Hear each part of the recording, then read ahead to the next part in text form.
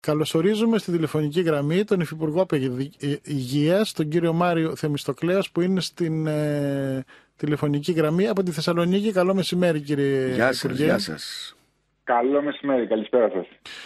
Λοιπόν, τώρα, ε, αυτά τα απογευματινά χειρουργία που ξεκινούν σήμερα, καταλαβαίνω ότι είναι μια πρώτη δειλή απόπειρα να ξεκινήσουν, διότι από ό,τι διαβάζω, πέντε χειρουργία θα γίνουν όλα και όλα, κάτι βουβονοκύλες και κάτι Αμυγδαλές. εν πάση περιπτώσει, μικ- μικρά χειρουργία.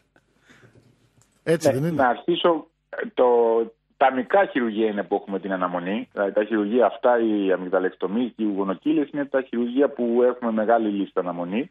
Αυτά κυρίως θα είναι και τα απογευματινά χειρουργία. Το, αυτό το διάστημα έχετε δίκιο, ε, θα είναι ε, δειλή ή σιγά σιγά, για να μην πω τη λέξη δειλά.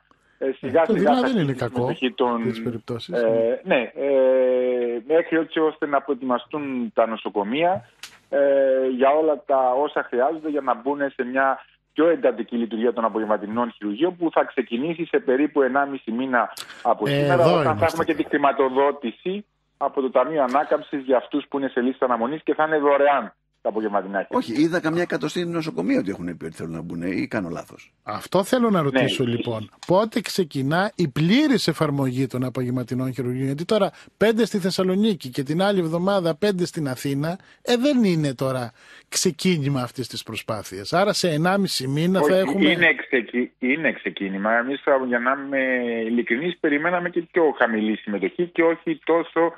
Σκεφτείτε ότι αυτή τη στιγμή θα μπουν στη Βόρεια Ελλάδα που αντιμετωπίζουμε τα μεγαλύτερα προβλήματα τέσσερα νοσοκομεία σήμερα. Μμμ. Ε, δεν είναι τόσο δειλή η συμμετοχή.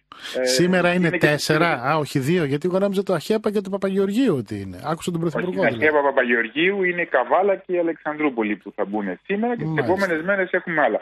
Η πρόθεση των γιατρών, για να μην λέμε την, τα νοσοκομεία που είναι αόριστο, ρωτήθηκαν οι υγειονομικοί, οι γιατροί, οι νοσηλευτές και στην πλη- συντριπτική πλειοψηφία των νοσοκομείων της χώρας, εκτός από κάποια μικρά και ένα-δύο μεγάλα της Θεσσαλονίκης, που έχουμε πρόβλημα με του αναισθητολόγου, είναι ότι οι υγειονομικοί μας, οι γιατροί και οι νοσηλευτές θέλουν να συμμετάσχουν στον θεσμό των απογευματινών ιατρίων. Θέλουν γιατί θα πληρώνονται επιπλέον. Αλλά τώρα είπατε και κάτι άλλο, ότι αυτά που ξεκινούν τώρα, οι ασθενείς θα πληρώσουν κανονικά. Δεν έχει ξεκινήσει αυτός ο θεσμός των δωρεάν απογευματινών με χρηματοδότηση από κοινοτικά κονδύλια Ταμείο ακόμα. ανάκαμψης. Ναι, ο θεσμός αυτός θα ξεκινήσει που εκεί είναι και η πλήρη λειτουργία των απογευματινών ε, χειρουργείων ε, σε περίπου 1,5 με 2 μήνες από σήμερα. Μάλιστα. Αυτό και είναι αυτό τώρα. και θα εκμεταλλευτούμε αυτό το Ναι. διάστημα, αυτό που είπατε προηγουμένως, σιγά σιγά περιορισμένος αριθμός, μικρά περιστατικά, έτσι ώστε να στηθεί το σύστημα επιχειρησιακά και σε δύο μήνες που θα έχουμε την χρηματοδότηση για τα δωρεάν χειρουργία με σκοπό να μειώσουμε τις αναμονές θα είμαστε έτοιμοι για την πλήρη εφαρμογή του. Έχουμε Θα στοιχεία. μειωθούν τώρα οι λίστες πραγματικά ή απλώς μεταφέρουμε χειρουργία που ήταν να γίνουν το πρωί το απόγευμα; Πόσος κόσμος περιμένει δηλαδή στην αναμονή για χειρουργείο; Η αναμονή για χειρουργείο έχουμε 102.000 άτομα περιμένουν στην αναμονή, οι οποίοι 55.000 είναι- έχουν αναμονή μεγαλύτερη των 4 μηνών.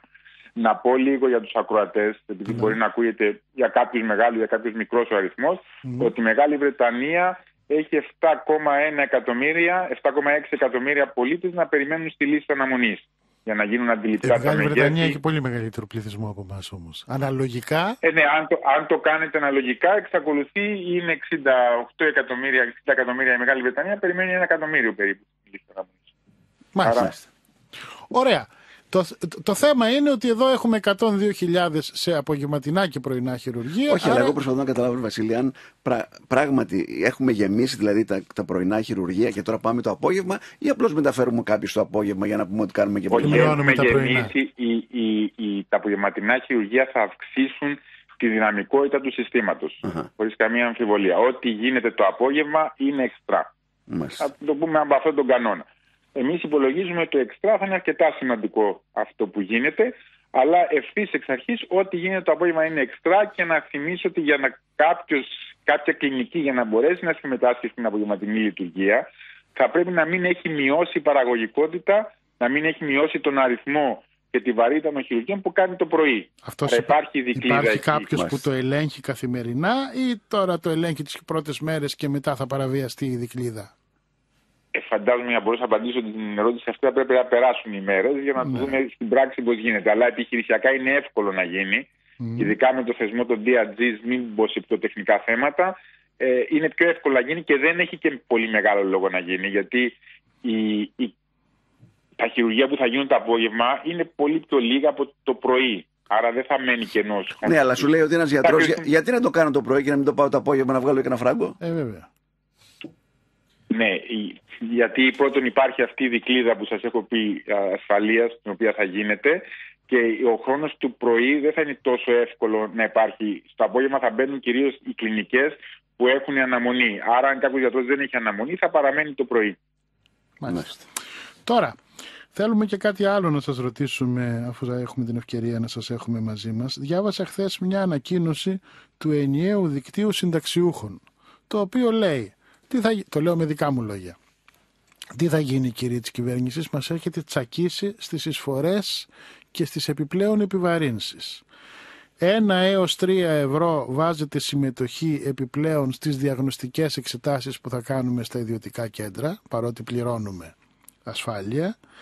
Ε, 5 ευρώ θα πληρώνουμε για να πάμε να κάνουμε το εμβόλιο του κορονοϊού στα φαρμακεία η συμμετοχή στα φάρμακα. Και αυξήθηκε και η συμμετοχή σε ορισμένα φάρμακα για να μειωθεί η ψαλίδα μεταξύ γενοσύμων και πρωτοτύπων. Όλα αυτά είναι στην καμπούρα του συνταξιούχου. Τι λέτε; Ναι. Μου βάζετε πάρα πολλά θέματα μαζί. Πάμε Ας τα πιάσουμε ένα-ένα.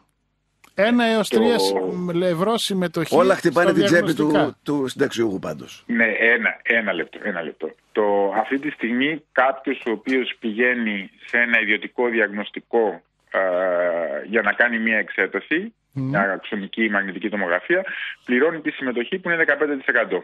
Ναι. Σε αυτό έχει προσθεθεί το 1 και τα 3 ευρώ, τα εργαστηριακά και 3 ευρώ στις ακτινολογικές εξετάσεις, στην περίπτωση που θέλει να πάει στον ιδιωτικό. Αν πάει στο δημόσιο νοσοκομείο, είτε στην πρωτοβάθμια ή στο νοσοκομείο, δεν υπάρχει χρέωση. Μα πού να πάει στο δημόσιο νοσοκομείο; Υπάρχει χώρος ή πέρα να περιμένεις 6 μήνες να κάνεις μια εξέταση; Υπά, όχι, όχι, όχι. Υπάρχει χώρος, φυσικά και υπάρχει χώρος και είναι, εδώ αξίζει να δοθούν κάποια στοιχεία ότι η δυναμικότητα του συστήματος, του εθνικού συστήματος υγείας ε, η παραγωγή, δηλαδή οι εξετάσεις που κάνουμε στο Εθνικό Σύστημα Υγείας μειώθηκε πάρα πολύ κατά τη διάρκεια του κορονοϊού. Για τον λόγο ότι ο κόσμος απέφευγε να πηγαίνει στις δημόσιες δομές που διαχειριζόταν τον COVID και σε πολλά ε, υποδομές του Εθνικού Συστήματος Υγείας κατά τη διάρκεια της πανδημίας ασχολούνταν αποκλειστικά με τον κορονοϊό. Με τη λήξη της πανδημίας οι, οι αριθμοί δεν επανήλθαν. Δηλαδή αν είχαμε προηγουμένως στις δημόσιες δομές να κάνανε 60 εξετάσεις, έπεσε στον κορονοϊό στις 35 εξετάσεις, μιλάμε για τέτοια σημαντική πτώση, μετά τη λήξη της πανδημίας δεν επανήλθε. Άρα το μέτρο είναι και υπάρχει χωρητικότητα στο Εθνικό Σύστημα Υγείας, οι πολίτες να επισκεφθούν και να κάνουν τις εξετάσεις στις δημόσιες τομές.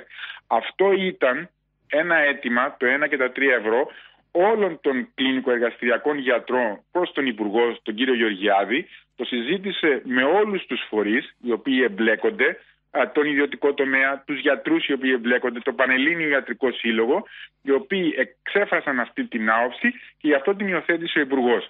Άρα και η χωρητικότητα υπάρχει ε, στο να γίνει αυτό και αυτό γίνεται για προστασία, αν θέλετε, την, του, των ασφαλιστικών εισφορών των Αν πάει ένας ασφαλισμένος να κάνει μια αξονική και το πούν σε έξι μήνες, Μπορεί να πάει χωρίς επιπλέον χρέωση στο ιδιωτικό μετά να κάνει την εξέτασή του ή θα το πληρώσει το 3 ευρώ έτσι κι αλλιώς; Ναι, δεν, και θα παρουσιαστεί συγκεκριμένο σχέδιο το επόμενο χρονικό διάστημα με πόσο είναι ο χρόνος αναμονής στις εξετάσεις και τις εργαστηριακές και θα, θα, θα δειχθεί ότι μπορεί να γίνει και να καλυφθεί από τις δημόσιες δομές.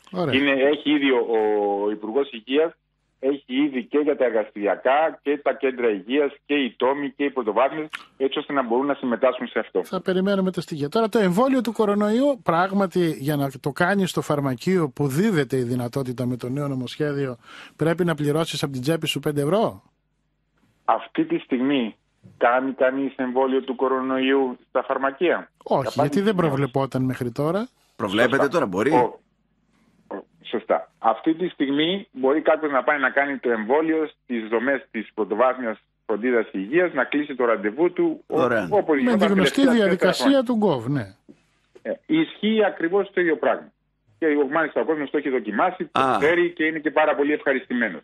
Σε αυτό το σύστημα προστίθεται και η δυνατότητα εμβολιασμού στα φαρμακεία με 5 ευρώ. Άμα Αλλά θες και να πας αυτό λοιπόν είναι στα, την επιλογή. στα φαρμακεία και θες Αν να πας δεν- στις δομές, παίρνεις πληρώνει 5 ευρώ. Ισχύει, Μάλιστα.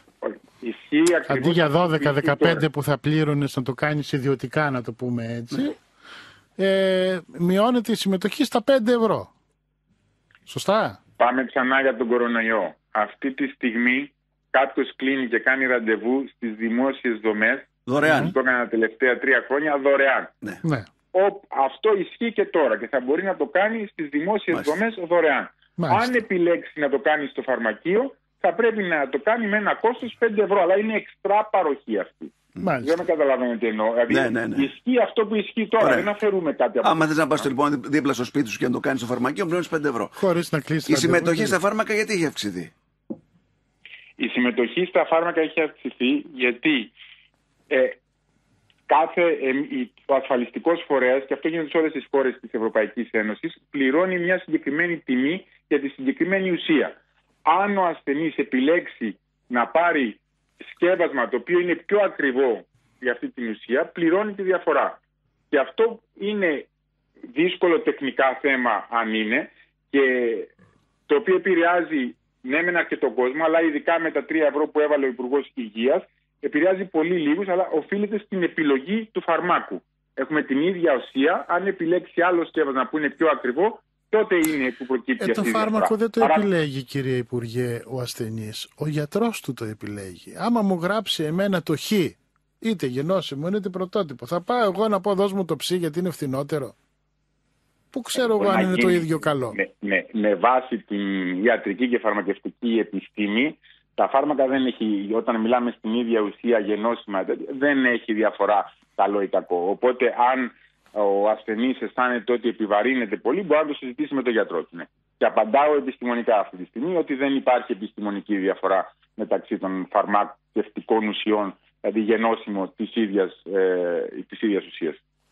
Ο- Θα έπρεπε λοιπόν ο, φαρμα... ο γιατρός να σου γράψει το, το γενώσιμο. φθηνό. Το γενώσιμο, το Ναι, φθηνό. αν θέλει και όχι αυτό το το λέω, ότι ακριβό. μπορεί ο ασθενή να συζητήσει με τον ε, γιατρό του για να γράψει. Μην μη μου γράψεις το ακριβό και πληρώσω παραπάνω, Ναι, ή να- γράψε ή μου να το μείνει φθηνό, στην άμα είναι το παραγράφηση ίδιο. της ουσίας. Ναι. Μάλιστα. Ευχαριστούμε πολύ κύριε Θεμιστοκλέος για τη συζήτηση που είχαμε. Ήταν πολύ χρήσιμο όλα αυτά που μας είπατε. Θα ξαναμιλήσουμε. Σας Καλό ευχαριστώ και εγώ. απόγευμα.